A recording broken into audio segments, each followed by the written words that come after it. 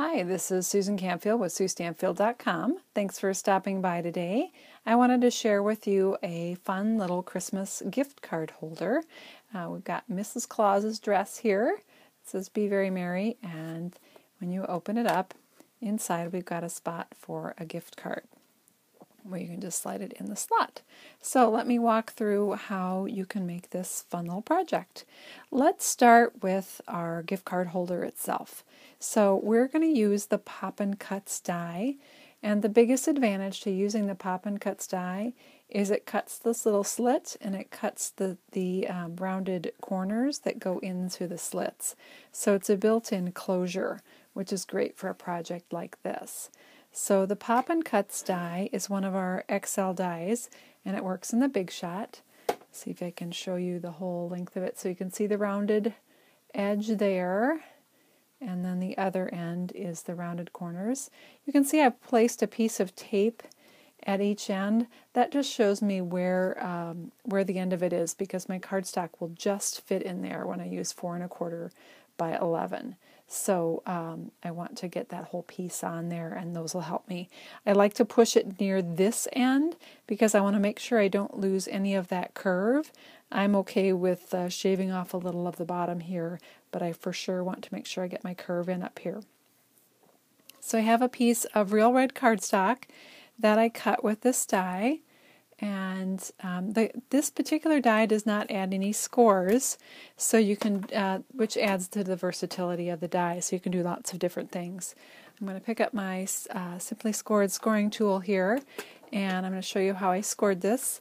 So I laid it in across the top um, of my Simply Scored the long way, with the curved out at this side, and I'm scoring it at three and a half, five and a half, and seven and a half inches. And so once you've got that scored, set that aside, and you're going to fold it. And basically you're folding it into a, what I call a W shape. So there's our W.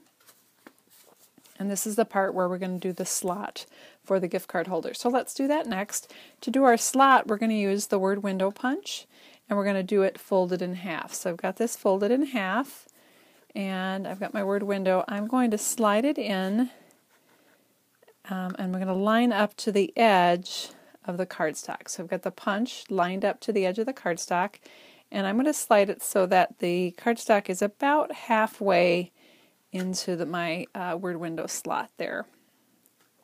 And punch that out. Now I'm going to go to the other side and line up the edge of my punch again to this edge. And again, I'm looking at halfway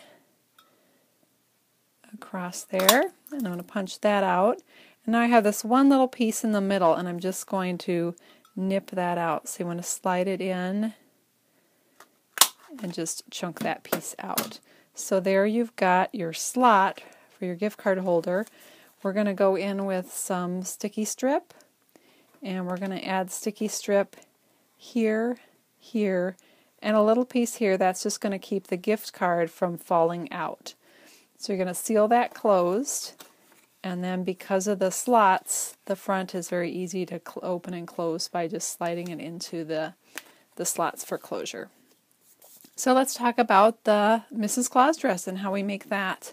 We're going to use our dress up framelit um, dies to make the dress and the collar is made using the one and a quarter scallop circle punch so that's right here. My little parts and pieces there. There you can see it. So the one and a quarter scallop inch punch, I punched it out of Whisper White. Got one done here. And I'm just going to put this together. So let me show you how that works. You want to do your assembly on this part before you do the cutting of the dress. So I have a piece of real red cardstock here and I have a smaller piece of white. The smaller piece of white is for that uh, bottom part of the dress, so we're going to cut that at the same time. And then we're going to cut, uh, we'll go ahead and place our scallop on there. I'm going to put a little adhesive on the scallop. I don't want to put adhesive in the middle. I want some adhesive here and here because when I cut it, I'm going to be cutting out the middle. So if there's no adhesive here or here, that collar is just going to fall right off the dress. So I'm going to take my snail adhesive and I'm going to add a little bit of adhesive to the outside edges of my piece, just like so. And I have one of my dog's hairs in there. Let's take that out. There we go. So I've got just a little bit of adhesive, I don't know if you can see that, on each side. And I'm going to stick that on. Um, I like to have six scallops above the top of my cardstock. So one, two, three, four, five. Oops, I got seven.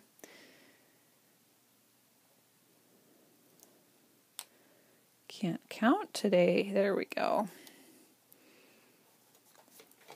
So I've got six six scallops above, so it's just a little bit uh, more below than above. And now I'm going to just take this piece away here and I've got my magnetic platform and my Big Shot ready to go. Set my snail aside. And I'm going to take my dress up framelits. Now the dress up framelit comes with uh, two different dresses and the dress form. I like to use this form for this project.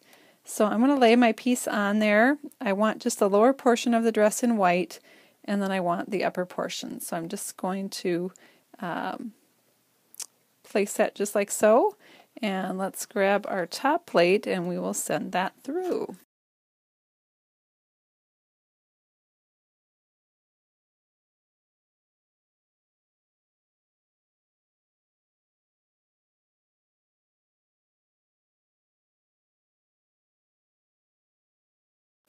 So I've got my paper snips here and I'm going to cut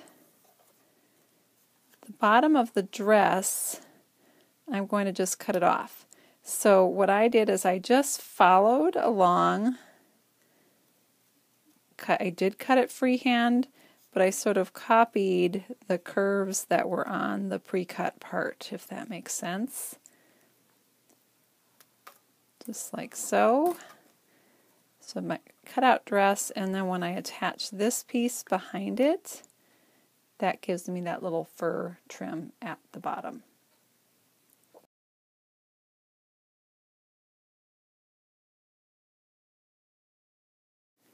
So let me show you how to do the belt. The belt, I cut a one quarter inch piece of basic black and I'm going to use my two-way glue pen here to glue that on.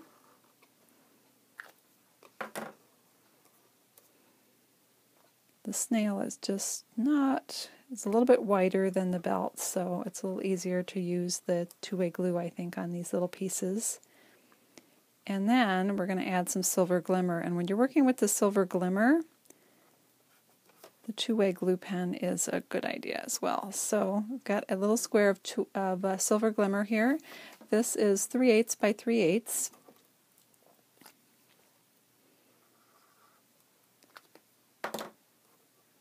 Two-way glue is called two-way glue because when it dries, it dries um, as a temper works as a temporary adhesive but I usually just use it uh, the initial way, which is to glue it on uh, to the full adhesive.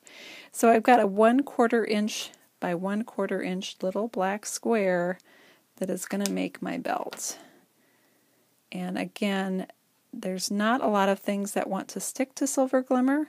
Um, snail does not stick very well, and and uh, glue dots work so-so. Uh, two-way glue pen or a liquid glue is really your best bet with that uh, silver glimmer. So to center that in the middle, and there you've got your uh, your Mrs. Claus dress ready to go. So then we can just add that to the other piece to form our gift card holder. I use the uh, neutral stack in the basic black for my background, that fun polka dot. And then again, the one and a quarter inch scallop is used here with the one inch circle punch. And the Be Very Merry is a greeting that is in our holiday catalog. Thanks for stopping by today. I hope you enjoyed this fun little gift card holder. For more creative inspiration, stop by at SueStampfield.com and we'll see you next time. Bye bye.